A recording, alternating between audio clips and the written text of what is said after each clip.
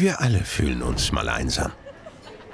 Wenn wir alleine beim Mittagessen sitzen, wenn wir in eine fremde Stadt ziehen oder wenn am Wochenende niemand für uns Zeit hat. Aber in den letzten Jahrzehnten ist dieses Gefühl für Millionen von Menschen chronisch geworden.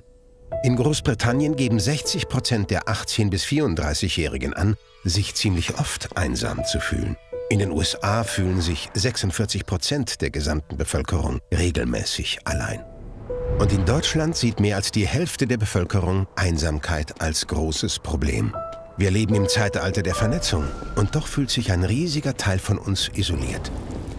Einsam zu sein und alleine zu sein ist nicht dasselbe.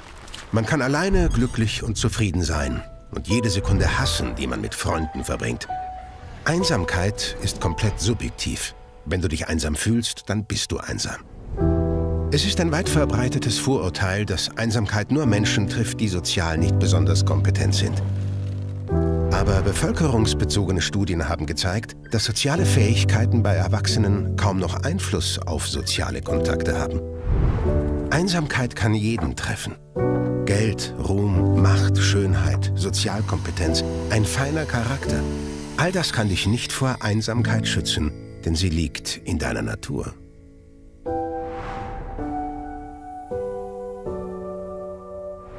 Einsamkeit ist ein Signal des Körpers, wie Hunger. Hunger sagt dir, dass du dich um deinen Körper kümmern musst. Und Einsamkeit macht dich auf deine sozialen Bedürfnisse aufmerksam. Deinem Körper sind deine sozialen Bedürfnisse wichtig, weil sie vor Millionen von Jahren ein guter Indikator für deine Überlebenschancen waren. Selektion belohnte unsere Vorfahren für Zusammenarbeit und Vernetzung. Unsere Gehirne wurden immer empfänglicher für die Gedanken und Gefühle der anderen Menschen und für soziale Beziehungen. Unser soziales Wesen wurde Teil unserer Natur. Wir lebten in Gruppen von 50 bis 150 Menschen und das meistens unser ganzes Leben lang. Es war quasi unmöglich, für ausreichend Essen, Sicherheit, Wärme und den Nachwuchs ganz alleine zu sorgen. Gemeinschaft bedeutete Überleben, Alleinsein den Tod. Es war also unerlässlich, sich mit den anderen gut zu verstehen. Für unsere Vorfahren war nicht etwa ein Löwe die größte Gefahr, sondern nicht in die Gruppe zu passen und ausgestoßen zu werden. Um das zu vermeiden, erfanden unsere Körper den sozialen Schmerz. Dieser Schmerz ist die Antwort der Evolution auf Zurückweisung.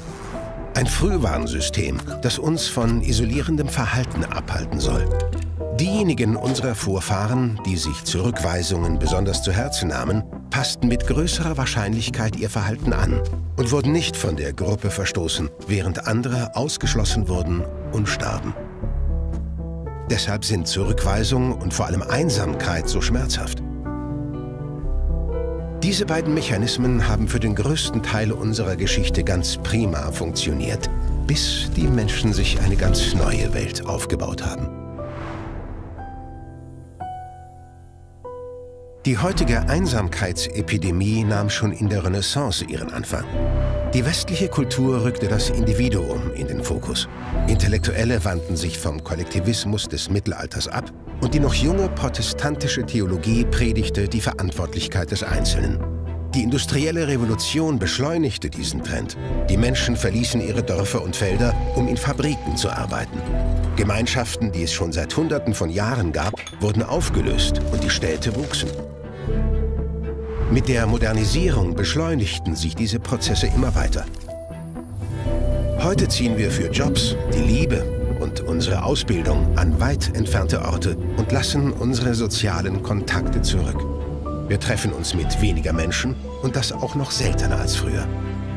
Zwischen 1985 und 2011 fiel in den USA die durchschnittliche Anzahl enger Freunde von drei auf zwei. Meistens entsteht chronische Einsamkeit versehentlich. Man wird erwachsen und hat neben Arbeit, Uni, Beziehung, Kindern und Fernsehen keine Zeit mehr für etwas anderes. Und der effektivste Weg, sich Zeit zu sparen, ist Freunden abzusagen. Das geht so lange, bis man eines Tages aufwacht und sich isoliert fühlt. Plötzlich sehnt man sich nach engen Beziehungen. Aber als Erwachsener ist es schwieriger, Beziehungen aufzubauen. Und dann kann Einsamkeit chronisch werden. Wir denken, wir wären mit unseren iPhones und Raumschiffen so weit gekommen. Aber unser Körper und unser Geist haben sich seit 50.000 Jahren kaum verändert. Wir sind biologisch immer noch auf Gemeinschaft gepolt. Groß angelegte Studien haben gezeigt, dass Stress verursacht durch chronische Einsamkeit zu den ungesündesten Dingen überhaupt gehört. Dieser Stress lässt uns schneller altern, Krebs tödlicher werden, Alzheimer schneller fortschreiten und macht unser Immunsystem schwächer. Einsamkeit ist statistisch gesehen tödlicher als Übergewicht und genauso tödlich wie eine Schachtel Zigaretten am Tag. Und das Gefährlichste daran ist, ist die Einsamkeit erstmal chronisch, kann es zu einem Teufelskreis kommen. Physischer und sozialer Schmerz wirken auf ähnliche Weise, denn beide weisen uns auf Bedrohungen hin. Deshalb löst sozialer Schmerz auch sofort Verteidigungsverhalten aus.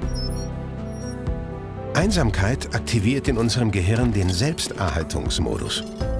Plötzlich sieht man in allem eine potenzielle Gefahr. Aber damit nicht genug.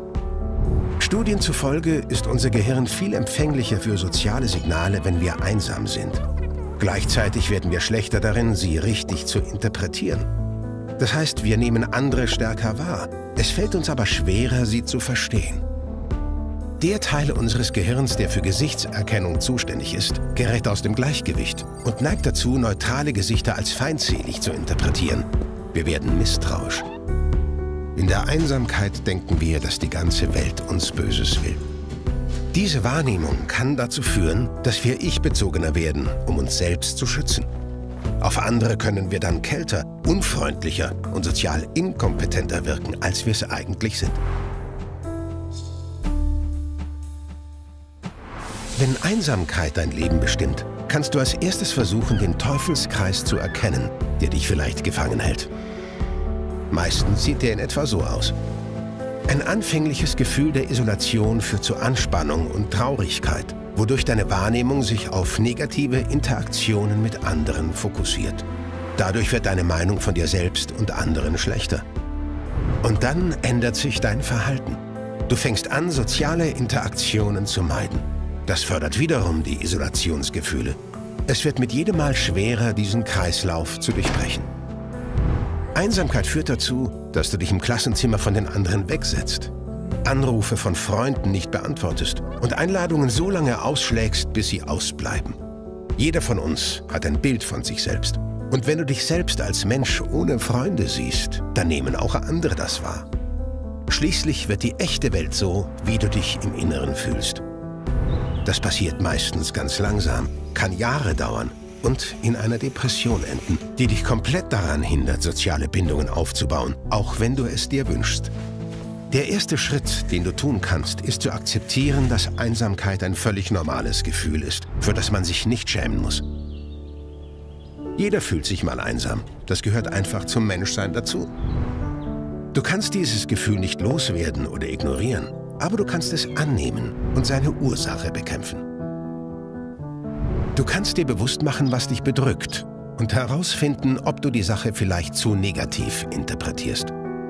War dein Zusammentreffen mit deinem Kollegen wirklich negativ?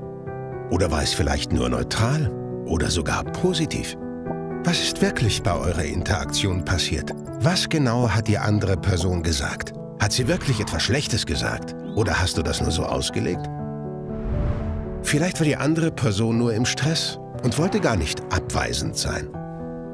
Und wie ist es mit deiner Meinung von der Welt? Gehst du davon aus, dass andere grundsätzlich schlechte Absichten haben? Weißt du zu Beginn einer sozialen Interaktion immer schon, wie es ausgeht? Denkst du, dass andere dich nicht dabei haben wollen? Vermeidest du es, dich anderen zu öffnen, aus Angst verletzt zu werden? Wenn ja, kannst du versuchen, anderen eine Chance zu geben? Kannst du einfach mal annehmen, dass sie dir nichts Böses wollen? Kannst du es riskieren, dich zu öffnen? Und wie sieht dein Verhalten aus? Meidest du den Kontakt mit anderen? Suchst du Ausreden, um Einladungen abzusagen? Oder stößt du andere von dir, um dich selbst zu schützen? Verhältst du dich, als würdest du angegriffen werden? Suchst du aktiv nach neuen Kontakten oder hast du dich schon in dein Schicksal gefügt und aufgegeben? Natürlich ist jeder Mensch und jede Situation anders. Und manchmal reicht Selbstreflexion nicht aus. Wenn es dir schwerfällt, selbst eine Lösung zu finden, dann versuche professionelle Hilfe anzunehmen. Das ist kein Zeichen von Schwäche, sondern mutig. Egal, ob wir Einsamkeit als rein subjektives Problem betrachten, das nur das Wohlbefinden von einzelnen Personen betrifft, oder als Bedrohung für die Volksgesundheit, wir müssen diesem Thema mehr Aufmerksamkeit schenken. Wir Menschen haben uns eine grandiose neue Welt aufgebaut. Und trotzdem können die Dinge, die wir uns erschaffen haben, nicht unser grundlegendes biologisches Bedürfnis nach Nähe ersetzen. Die meisten Tiere bekommen alles, was sie brauchen, von ihrer Umgebung. Wir bekommen das, was wir brauchen, voneinander. Und wir müssen unsere neue Welt an diesen Bedürfnissen ausrichten.